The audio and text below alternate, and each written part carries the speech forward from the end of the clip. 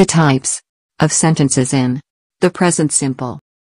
There are three forms of sentences in the present simple affirmative sentence, negative sentence, interrogative sentence. Let's start with affirmative sentence.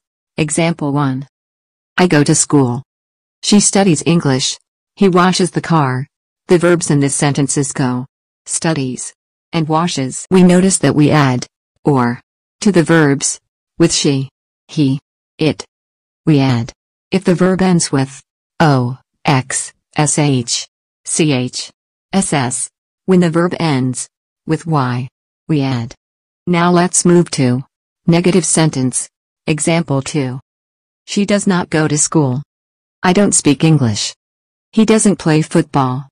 In the negative form we use don't or doesn't. To form negative sentences in the present simple I use don't with I, you, they, we. Doesn't with she, he, it. Let's read example 3. Does she go to school? Does he play football? Do you speak English? To form questions. In the present simple I use do or does plus subject plus verb infinitive plus the rest of the sentence plus question mark. Here guys we arrived to finish our lessons today. I hope you like it. To get more videos visit our channel through the link.